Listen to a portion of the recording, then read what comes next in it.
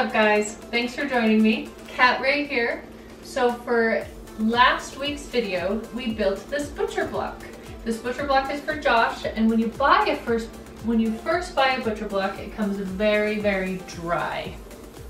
So for this video, we're going to be doing a oil and conditioning to this to make it healthy and basically last longer. So let me show you. Here we go guys. So the most important thing to do when you are conditioning your butcher block is to pick a food safe oil. We picked mineral oil. You can see it's kind of an old bottle, but mineral oil is very, very food safe because man, you don't want to use something that's going to make people sick. But we take the food safe oil, we take this soft rag and we'll just put a layer on it and see how it does. We'll come back in about an hour or half an hour to an hour and we'll check it. Okay, so we got the mineral oil. We're just gonna dump it here in the middle. Put a big pile there. Oh, that probably looks good. Take our really soft rag. We'll just rub it on. Mm, prettier already. Yeah, you can see it's already soaking in. I'm gonna have to put yeah, some more. Tons. Yep. Gotta be doing more. Let's put it around the edge, just so we don't have to scoot it on the outside. There we go.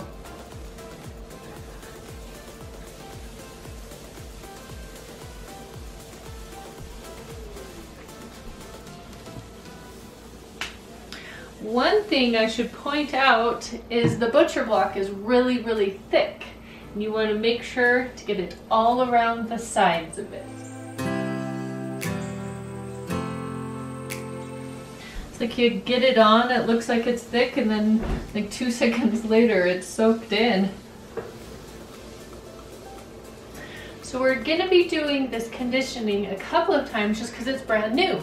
But once you have it and it's being used, you need to do the conditioning probably about once a month. And that's to get a nice thick patina over the top so it's just healthy and very, very usable.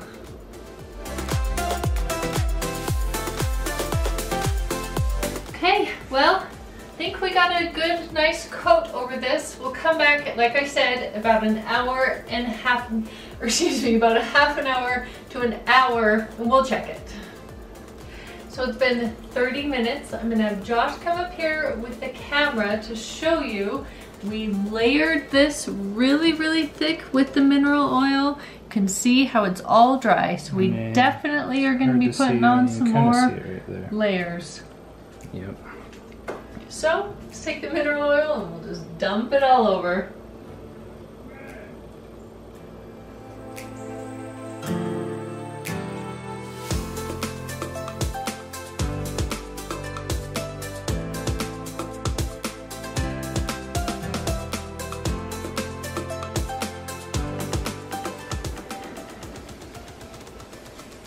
Okay, got a nice thick layer on there. We'll come back in about half an hour and we'll check it.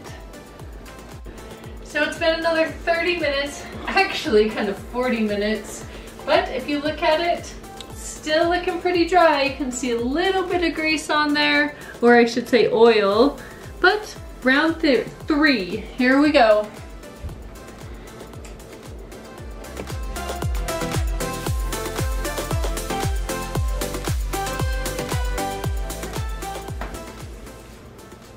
Okay, well it is looking much, much better. We'll leave this one on and come and check it. Okay, so we've done this three times and now once we came up here, it's starting to kind of pull up.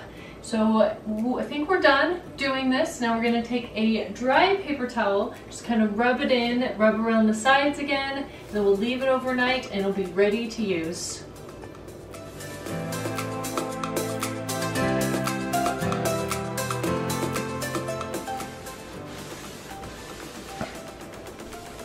That's good. Sweet. All done? Now that I'm all done with my butcher block, let me show you a little bit about the care of the butcher block. So once you're done with it, just like a countertop, use some sort of antibacterial soap to keep it nice and clean. if it's getting some smells in it and you need it to really deep disinfect it, you can use some vinegar that will do some disinfecting, get rid of smells. But if you happen to get like a stain or something, you can use some lemon juice and salt and scrub it really good and that should pull out the stain. So remember, work hard, play hard. We'll see you on the next project.